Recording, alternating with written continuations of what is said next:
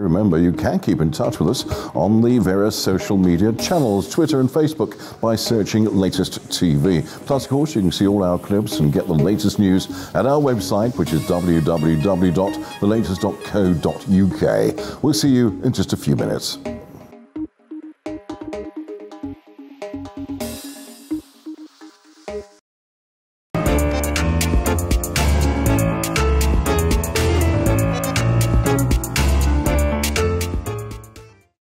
Hello and welcome to Latest TV's newspaper show with me, Mike Mendoza, and of course Mark Walker. Mark, hello to you. Exciting weekend for you. You went to watch Brighton and Hove Albion play away. Yeah, and they won in 90th minute. So, and it was, was predicted. Uh, Ian Hart predicted a one 0 victory. He was in the away stand with the um, Albion supporters. I was in the media bit, and we both said actually via Snapchat that it would be a one 0 victory to the at Brighton, and it, we were right. 90th minute. Do you see the goal? It's a good goal, Trossard. Yeah, very good. Very Didn't look like we were going to win it, but we just had that feeling we would sneak it because uh, Brentford couldn't take their chances. So we both thought we're going to nick this. And um, they were a bit annoyed at Brentford fans. As I you, know, as the you manager would. was not happy at all, yeah, he? I know. Yeah. I, I mean, what was really amazing is Tony Bloom. Tony Yeah. Bloom in the Yeah, away stand with the supporters right in the middle of them all, Yeah. refusing to go into the director's box. Because he don't like the um, owner because he's a gambler. is that what it's about? yeah, the, the owner of Brentford um, is involved in the gambling business, and they've had some. Well, this is a rumour anyway. It's not no fact behind it, Mm. but that was a rumour um, that uh, I think it was a Guardian report actually, so it must be true. Um, so yeah, uh, Guardian reporting in their match report that they had some tiff, and that's why he was in the away stand. But I mean, you know. He's loved It's by fa- he- he he's loved by does that. fans anyways. He's Yeah, not. yeah. He's not exactly. Um, you know, most most club owners couldn't do that, but Tony Bloom can. So He does all Yeah. the time. I think they love him, don't they, really? yeah, yeah. Doesn't matter whether, whether he's right or wrong, they're going to Yeah. adore him. I guess look at some of the, these stories Yeah. in the papers. It's been it's been a big week over the last week because people are now remembering uh, 20 years on since the uh, Twin Towers, of course, and Yeah. that terrible attack on America. Uh, people thought, in fact, it was going to happen in Britain as well. 20 years on. Um, it's the 20th anniversary, September the 11th. Uh, Jon Snow is a veteran reporter. He recalled his experience of covering the worst terrorist attack in history live on television as well. Yeah, yeah, exactly. It was. Um, I remember it. I mean, You were young. yeah, I was young. I think I was 20. 'cause I'm 41 now. So yeah, I was 20 years old, and I remember it very well. Um, very rarely do all the programs get taken off air immediately. Um, we know that working in TV, um, but this was one of those occasions. I mean, the next thing would be obviously the.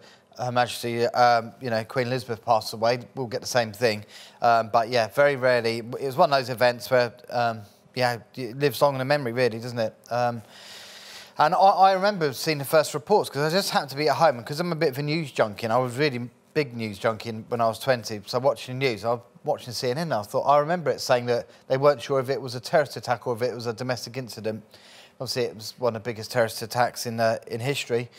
Um, it turned out to be. So, yeah, very uh, When you watch those planes coming in and, and it was all filmed. Yeah. It was, it was almost like a, like a movie, wasn't it? It didn't look, Yeah. just didn't look real. No. At all. I, I, was in, I was in London at the time, Yeah. going to a meeting in London, uh, and my wife phoned me up in a panic because they, there's a, they, they said there was a, a plane missing at the time, and they thought it was going to head towards. Uh, towards England, and they thought London was another target. And she said, "Get home, get home, get home!" And everyone was rushing to the trains, not because they heard her, because obviously a lot of other uh, Yeah. wives were ringing. There was a panic in London uh, at the time. So yeah, something you're always going to remember. And watching it all on. And well, I remember going, sort of walking down one of the main roads in the West End, and, and there's televisions in the windows, and there was crowds of people Yeah. look, looking at the TV sets.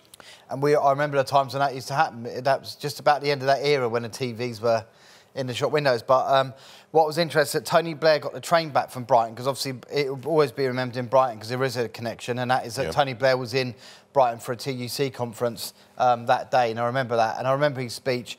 And he, funny enough, Alastair Campbell, his press secretary, was saying that he got the train back because obviously George Bush stayed up in the air for that hours on end, but they just got the train back up to uh, back up to London Victoria. So um, interesting. Uh, and of course, the, the knock-on effect that had with uh, the war on terrorism. and Iraq. Uh, and did it work? Well, yeah, and, and also it led on to Iraq, of course, which Yeah. was probably, you know, Tony Blair's greatest blunder. Probably history would probably uh, tell us, wouldn't it? So, His other blunder, I guess, was wanting to stay in Europe, but that's but that's a, whole new topic and a whole new subject. I thought we, you'd bring it in. We won't get into exactly how to get that one. Uh, excuse me. The next story is is uh, excuse me. Uh, charities welcome pet theft crackdown. Uh, animal welfare Yeah. charities have praised a new law uh, criminalising pet abduction, uh, which is set to be introduced. There's to be harsher punishment for stealing a pet under government plans to crack down on the crime following a reported rise in cases during the pandemic. Uh, just a week ago in Hove, uh, there was a case. Have you heard this one about a lady Yeah. with a, I think a Chihuahua? Uh, she's quite a well-known lady actually in, in circles, and uh, she was walking uh, in, in Hove, and she suddenly got a car up next to her. Two men jumped out, uh, trying to grab her dog, and she just held on to it, wouldn't let it go, and they started kicking her on the ground and, and punching her, and she still would not let the dog go. And they said, "We want your dog. Give us your dog." And she said, "No, no, no. You've got to kill me first. And one of them got a knife out and said, "We'll kill you then." And she said, "Well, go on, kill me." And they stabbed her in the face and the cheek. Uh, and then they ran away. So she still kept her dog, uh, but she's not a very happy lady, I'm sure. She got stabbed in the cheek. Got stabbed in the Oh. cheek. Yeah, we should actually cover that. Maybe. Yeah, We'll yeah. Go, well, I shall go and visit her because I do know her. Yeah, actually. and um, I, I, I've had a report as well. My next door neighbour, um, I was it's got no reason to lie. She was saying that some um, uh, some people got stopped a car near where we live in East Brighton, and then they pretended to be the police. They said, "Well, you're not treating your dog properly. We want to take your dog," and um, but um, and then but this guy he. He'd worked for the police, so he knew that the police wouldn't do that. Yeah. So they happened to go away, but it's three people in, in a car, four by four, I think, and uh, yeah, and so it's, and that was just round the corner from where we live. Um, so it's a big thing in Brighton, isn't it, at the moment? I mean, there's so many dogs around, Yeah. aren't there, at the moment as well? Which is, uh, let's hope people still, uh, after this is all over, the pandemic's over, which goodness knows how long that's going to be. Let's hope people do look after their dogs. Yep. Uh, juvenile offenders should be children first and foremost. Uh, figures show thousands fewer children are being arrested each year by Sussex Police as campaign praises progress. How can you praise progress? I mean, this, this to me is ridiculous. I, I was, I, again, we had a case in Lancing recently where a young lad was beaten up by a gang of, of uh, youngsters. Uh, and they ran into the co-op in, in Lancing, beat him up in there. It's all on film, all their faces identified. Uh, and one, one good thing about this is the guy who actually led the attack and is shown on, on a video punching this guy in the face, because they put it on Facebook as well. Very proud of what they did. Uh, so the main uh, ringleader, his father grabbed him and took him to the police station, which is absolutely amazing. Yeah. Really good news. But the police have done absolutely nothing about it. All he's got to do is write a letter of apology to, to the guy he attacked. And that's all there is to it. Yeah. I mean, would it be recorded on his criminal record that he did that? Did he? Was there a guilty plea? Was there? I have no idea. They haven't said that that they're, they're, Right. he's got a criminal record. I think the idea is not to have a criminal record. Uh, so they sort of go through the rest of their life being uh, really wonderful and, uh, and what have you. Uh, but child arrest uh, reduction is not down to being soft on crime, but many people think it would be soft on crime. Look at America. The, the uh, was it a uh, short, hard shock they were doing, weren't they? They were Yeah. taking sort of youngsters who were a bit unruly into prison for even a day or two days, just to give them what life is like behind bars. Yeah. I mean, it just. I think it depends what crime it is. You know, it's a bit like obviously assault is much more serious than shoplifting. So if someone's caught shoplifting, then it, you know, I think it depends what the crime is. Yeah. Um, assault's obviously a lot more serious. So. I mean, I mean, this, this youngster who got beaten up in, uh, in, in Lancing, he, for a start, he's slightly disabled. He's actually deaf. Yeah. Only got one ear, uh, so he looks different to other people. That's probably why they started Yeah. on him. Uh, Yeah. and, and it shows you, the video shows him literally being beaten up, and then outside the supermarket in the street, they're all dancing around watching the video and laughing about it Yeah. and they get away with it. Uh, the next story, this is a local one, uh, certainly to West Sussex. Uh, booking system trial at six rubbish tips is to be reviewed. You know, many people are saying it's been a great success. It hasn't been a success. A lot of people get their rubbish, and you think, I'm not going to have rubbish this week. Or, yeah, I've got too much rubbish. And you've got to phone up. You've got to book a, a, a time slot to take your rubbish in there. You know, coronavirus is virtually over. You can have 60, 70,000 people at a football match now without wearing their masks. Surely you can take your rubbish to the tip. Yeah, I mean, I mean, it's not going to work, and it'll just lead to fly tip, and that's a problem um, Yeah. because people just won't bother to book it, and they'll just dump it somewhere. So, um, yeah, um, yeah, I can't see that working. I mean, it wouldn't work in Brighton. We'd have an even worse fly tipping is a problem, and we do already. So um, yeah, it doesn't make any sense to me. I think some people are just dragging on the coronavirus pandemic kind of restrictions for as long as they can Yeah, to yeah. suit their own needs. That, that's what might be behind it. A uh, council spokesman said uh, the booking scheme has been popular with with residents and delivered a range of benefits, including reduced traffic queues at busy sites. Yeah, it's very popular with the council, maybe, but I don't think it's popular No. with residents. you know, you, you can turn Your these things to your like advantage. that. When you go to the tip, it's often spur of the moment, or you do multiple trips. It's just it's not something you can book in advance, is it? No, of course not. So, you know, you suddenly, yeah, you've got no idea how much rubbish you're going to have. Yeah. I, I guess, and then you're stuck with the rubbish until uh, your, your booking time comes Yeah. up. Yeah, exactly. which is just crazy. Uh, we're almost out of time for the, for the first part of the programme, probably because we've been talking too much about other things. Um, but uh, coming up, we're going to be talking about sport, of course. We're going to talk about Winston Churchill and, and about, of course, Prince Andrew. Also hit the news Yeah. again uh, this week, having been, they say, served with a writ. Uh, against uh, a young lady, so we'll see what happens with that one. Uh, this is the latest TV's newspaper show. with Me, Mike Mendoza, and of course Mark Walker. Thanks for watching the first part of the program. We're back with a lot more stories with the newspaper show here at Latest TV with me, Mike Mendoza, and of course Mark Walker. Back very soon. Remember, you can keep in touch with us on the various social media channels, Twitter and Facebook, by searching Latest TV. Plus, of course, you can see all our clips and get the latest news at our website, which is www.thelatest.co.uk. We'll see you in just a few minutes.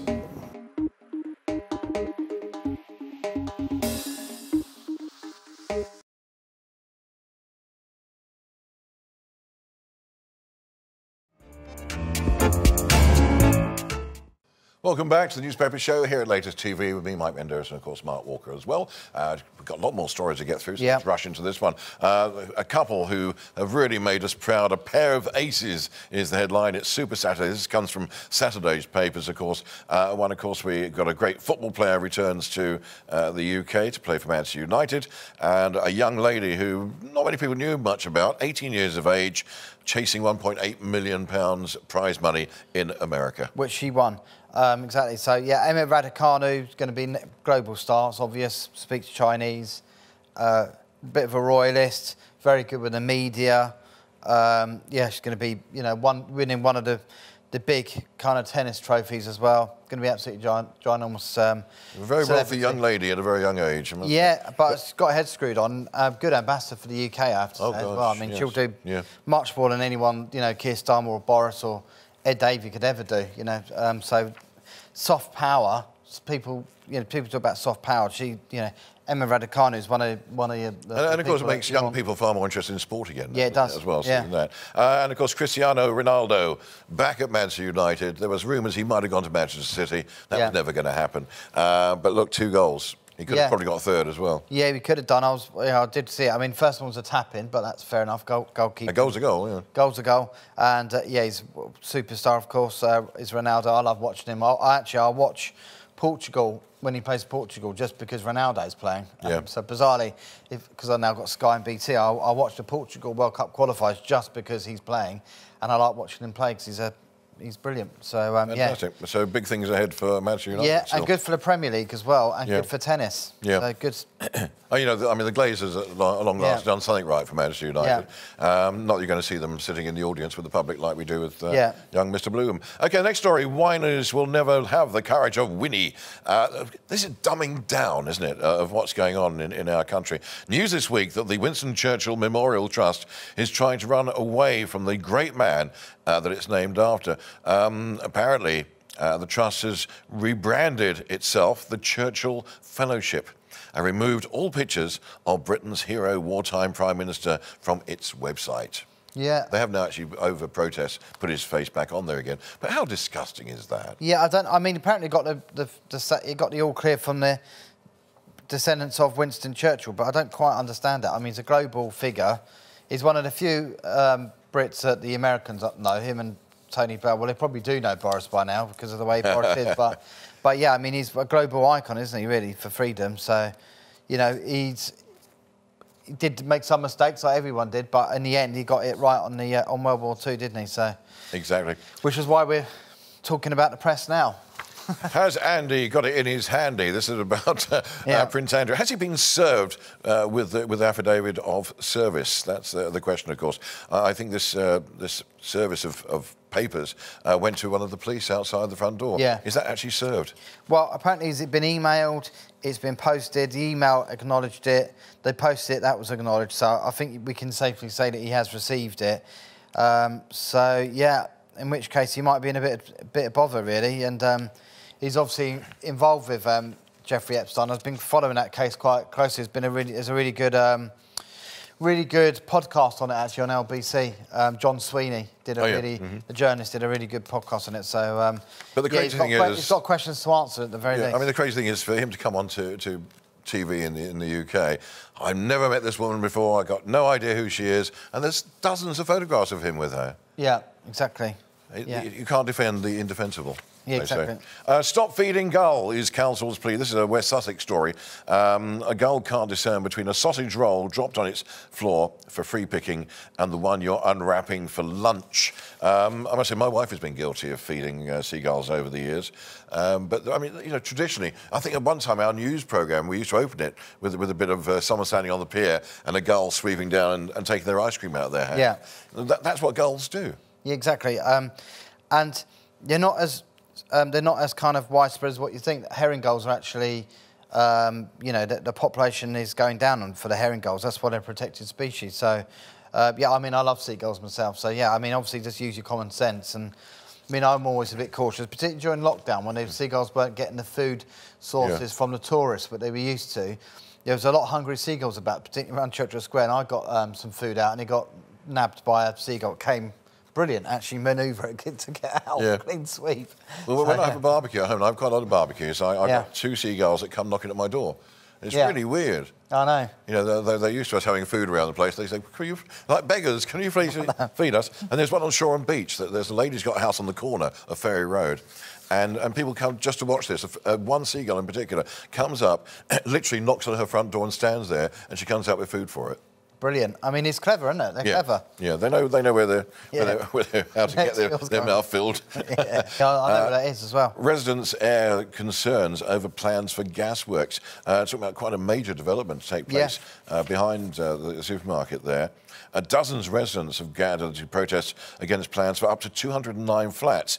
But 209 flats is not I know, an awful lot, actually, when you look at a block of flats. It is. Now, I have seen that site, and last time I was in that car park at Waitrose at Worthing, I was thinking to myself, surely they're going to build there because um, there was nothing there. I think it's in kind of different uh, um, um, allotments, isn't it? It's kind of different allotted sites yeah. with lots of kind of fencing, but none of that site is being used. So I'm amazed that it wasn't built on before, if I'm being Hasn't been used for about 20 years. I. Yeah, I mean, I think if you're living next door to a big site like that nowadays, then it's going to get built on sooner rather than later because, um, particularly because of the housing crisis in the um, in in uh, the southeast, any plot of land is going to get built on, unfortunately. So, Is it gonna my happen in the advice don't build, don't buy near, uh, don't buy near a big plot of land. Well, yeah. If it's not part of a private garden, or, or, or, or you know, if it's a big plot like that, it's going to get built on. There's Yeah. no doubt about that. Well, well, that's, is that going to happen to you? yeah, at some point it will do. Yeah, it's I'm just sure. around the corner from us. But there again, although local authorities have Yeah. been told they have to identify areas for development, Yeah. uh, Adur, Adur Council, for example, had to identify certain areas. That's the reason, and they didn't really want the building. That's why they, they brought in Yeah. uh, the, the area around the, the Albion training ground, Yeah. which is which is a massive floodplain. It really Yeah. is a massive floodplain. Yeah. And uh, but the Albion have spent millions of pounds with the building, uh, with the building of Cala Homes, uh, to clear and put massive tanks underground for millions of pounds. These big tanks take away the water, and that's why it's now safe to, to go on uh, Monk's uh, farm, which Yeah. is where that is. And um, you're just going to find they're going to get around it. But Adur Worthing or Adur Council did a very clever move. On the main A259, there's a big roundabout by Shoreham Beach. You go, you go over the bridge, Yeah. you turn left to Shoreham Yeah. Beach, right to the airport, and you'll notice there's two fields either side of that Yeah. small road. The one on the right-hand side, the first field you come to, uh, the Dogs Trust has bought to stop anybody building on it because it's right next to the Dogs Trust uh, Yeah, yeah. Uh, premises themselves. On the other corner, over the last few months, Adur Council has bought the land, so it can never be built on. Yet they've had to identify that land for building, and now they've bought it to stop people building. Yeah. And that's going to stay, it's going to be like a, and we're going to talk this in a moment, uh, like a pollinator area. Yeah. So it's Yeah, gonna be like- interesting. and, and this is the other thing, uh, and that's the, the next story about Pollinator Highway project. Uh, wildflowers, wildflowers and pollinators are making a comeback in Lancing, where West Sussex County Council's first Pollinator Highway is underway. A joint project between the council and Lancing Parish Council um, is going to provide crucial food sources and habitat uh, and links for a variety of insects via the roadside verges. A lot of people say this is just laziness by councils, by Yeah. an excuse not to mow. Yeah. And in Brighton, it's, it's pretty bad. Yeah, it Uh, is. in a certain way, where you, all right, you can say, yeah, I'm in favour of not mowing certain areas, verges, maybe not mow because you, know, you need it for the bees to, and all the other insects to, to, to thrive on.